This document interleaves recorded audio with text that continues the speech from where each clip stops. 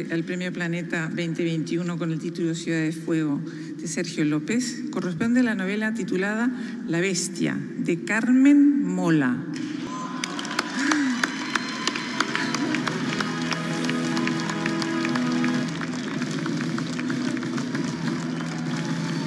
Carmen Mola y La Bestia. Sorpresas porque detrás del seudónimo Carmen Mola se encuentran los escritores Jorge Díaz, Agustín Martínez y Antonio Mercero.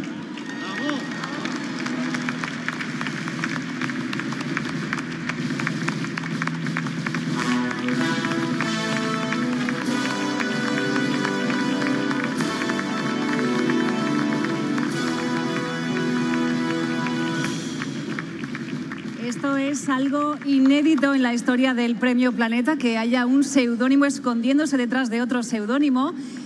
Y además, acabamos de desvelar otra noticia. Todos sabíamos que Carmen Mola es un seudónimo, pero resulta que hay tres hombres detrás. Enhorabuena.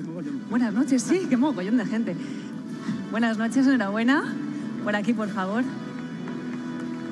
Buenas noches, enhorabuena.